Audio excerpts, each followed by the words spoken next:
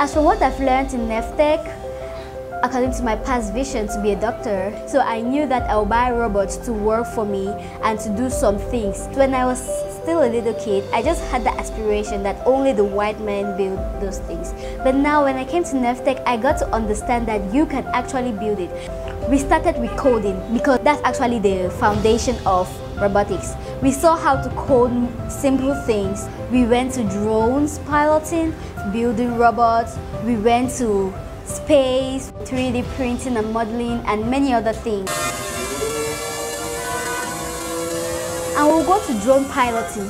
We can see cars now that can fly, even though it looks unusual, but in 2020 or so, they developed a car that could fly, and it was very amazing.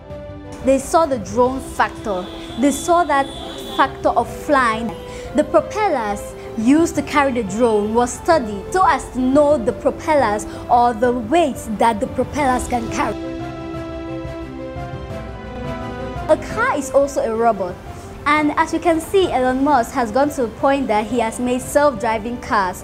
If we did not have robotics in technology, which is even the core, let me say the heart of technology, how will we make robots? How will we make cars? How will we have that knowledge of making things?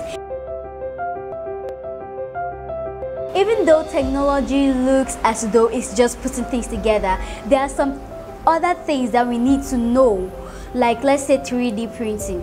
Though when you take an already made machine and you feel it, it doesn't feel as though it was made by a 3D printer.